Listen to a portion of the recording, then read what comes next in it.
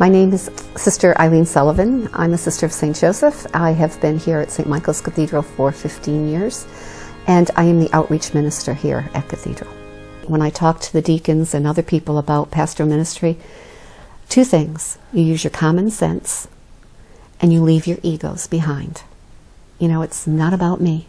I never know sometimes what I'm going to be doing from day to day. However, I do know that on Saturdays and Sundays I attend all of our masses. I am at the door and greet the people before all masses and at the end of masses. You okay? All right. I know. I'll give you a call this week, okay? You take care, Ricky, all right? All is well with you? This parish is such a diverse parish. It's a wonderful parish.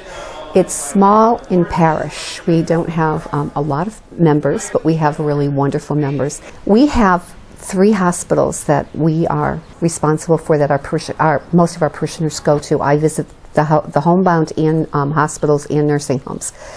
It's wonderful and it's sacred and it's it's a holy time to be with people that are really so vulnerable and so honest and so so sincere. I can bring God's love to them, and that's that's what I try to do. I try to just be there, and they know that they have someone that is connected with God. It makes me feel good because I can do something for them that brings a light smile to their face.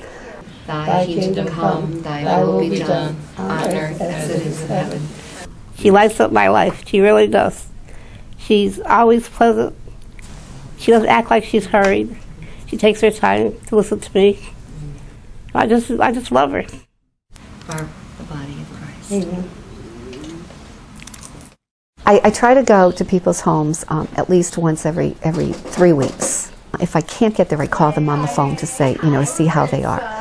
Maritza is just a delightful woman who um, struggles because she can't come to church because of her health. So, what would you like to pray for today? for my health, um, my family's health. She's always been there for me and my family um, through good times, bad times. When I need a smile or um, feeling low or depressed, you know, or down, I give her a call. And she's always there for me.